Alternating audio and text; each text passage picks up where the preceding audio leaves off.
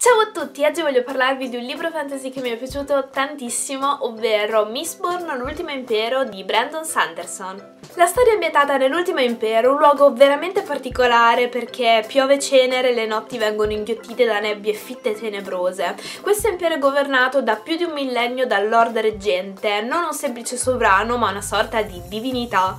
La popolazione è divisa in ska, ovvero la classe inferiore trattata come schiavi, e la nobiltà. Fra i nobili ci sono alcuni con un potere molto particolare, ovvero l'allomanzia. Questo potere deriva dalla capacità di utilizzare i metalli per acuire i propri sensi, rinvigorirsi, spostare i metalli e altre cose di questo tipo. I protagonisti della storia sono Vin, una ladruncola di 16 anni, molto introversa, abituata a non fidarsi mai di nessuno, e Kelsier, un ladro dal passato abbastanza singolare. Kelsier vuole Vin all'interno del suo gruppo di ladri, che è un gruppo molto particolare, infatti si fidano fra di loro, sembrano quasi dei veri e propri amici, e inoltre vogliono ribellarsi al Lord Reggente. Questo libro lo stavo cercando da almeno un anno, non l'ho mai visto in formato cartaceo in nessuna libreria, su internet costava veramente una follia perché già di per sé il libro cartaceo dovrebbe costare tanto ma poi c'erano anche delle spese di spedizione assurde per un libro veramente fuori di testa, non l'ho più visto cartaceo e l'ho trovato in offerta sul sito della Fanucci come ebook a 2,99€, mi sembra che sia ancora in offerta nel caso vi lascio qua sotto in descrizione il link. E quindi l'ho acquistato e sono veramente felice finalmente di averlo trovato perché questo fantasy veramente è una cosa assurda. Partiamo dall'ambientazione. Quando uno si immagina un luogo fantasy si immagina senz'altro un mondo in cui vorrebbe entrare, un posto magico, fatato. Invece qui è proprio l'esatto contrario. Non vorresti mai andare nell'ultimo impero. Piove cenere, cioè vi immaginate tutti i giorni piove cenere, tutti sporchi, non c'è un angolo pulito in città, gli ska sono trattati veramente come degli schiavi, la notte c'è la nebbia che ti mangia praticamente, ci sono delle leggi orribili, cioè chi vorrebbe andare nell'ultimo impero? Poi, l'allomanzia Wow, cioè è talmente ben fatta, ben costruita. Brandon Sanderson ti racconta veramente tutto nei minimi dettagli. Alla fine del libro c'è anche una sorta di riepilogo di tutte le capacità, di tutti i metalli che si possono utilizzare per l'allomanzia e è così ben costruita appunto che tu ci credi, che è talmente può essere vero, può può essere vera questa cosa e quindi dà un tocco veramente magico alla storia perché tu ci credi che esista la romanzia ed è davvero una figata secondo me.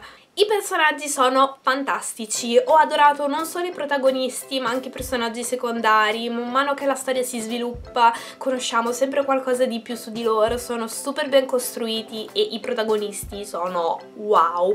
Kelser io l'ho adorato, non è il tipico capobanda, ha una faccia un po' da sbruffone secondo me ma anche un suo lato molto tenero, poi ha, la sua storia mi ha davvero commossa come mi è piaciuto tantissimo il suo rapporto con Bean e in Vin mi sono vista tantissimo perché è una ragazza molto minuta, abituata a non fidarsi di nessuno perché viene costantemente tradita, eh, in primis dal, dal fratello e si è sempre considerata una persona inutile. In questa storia invece avrà il ruolo diciamo più importante, principale e quindi si renderà conto di non essere inutile, che ha un valore anche lei, che ha una forza dentro enorme. La storia è molto originale, non è mai scontata, ci sono un sacco di colpi di scena che tu sei lì che leggi tranquillo, sì, prendono frutta e verdure e poi, oh mio Dio, che cosa è successo? È davvero, davvero fantastico. Anche se è un romanzo molto lungo perché sono più di 700 pagine, la lettura per me non è mai noiosa e è una storia veramente ricca di azione, a volte anche di riflessione, ma soprattutto di allomanzia. È spettacolare secondo me. Le cose non vengono mai spiegate tutte in una volta, ogni cosa avrà la sua risposta a tempo debito e questa cosa mi è piaciuta davvero tantissimo perché a volte si tende a spiegare eh, troppo in fretta magari come funziona una certa cosa, mentre lì è spiegato tutto con calma, quando ti servirà saperlo lo saprai.